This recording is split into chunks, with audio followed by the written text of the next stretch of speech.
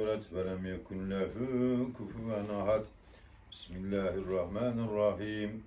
Kul huvallahu ahad. Allahu samed. Lem yelid ve lem yulad ve lem yekun lehu kufuven ahad. Bismillahirrahmanirrahim. Kul huvallahu ahad. Allahu samed. Lem yelid ve lem yulad ve lem yekun lehu kufuven ahad. Euzu billahi mineşşeytanirracim.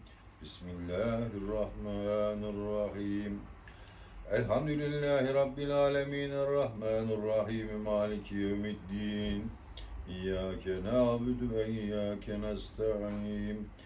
Iktına sıratel müstakime sıratel lezine en'amte aleyhim. Gayril mağdubi aleyhim veleddallin.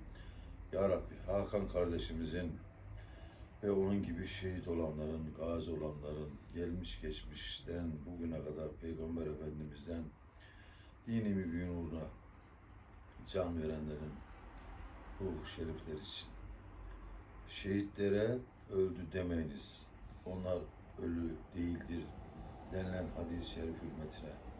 Biz inanıyoruz ki o şehitler Peygamber Efendimizin en yakınındaki muhafızları, onun kor- korumaları, e, onun yazı işleri müdürleri gibi en yakında bulunanlardır.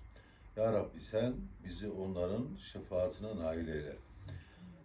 Ya Rabbi Hakan kardeşimizin ve onun silah arkadaşlarının ruhu şerri için, Allah rızası için ve burada bulunanların akrabayı tarikatlarının, sülale-i sağlık saatli bir uzun ömürlü e, yaşamalar için virüs belasından da bir an önce kurtulabilmemiz için Allah rızası için El Fatiha.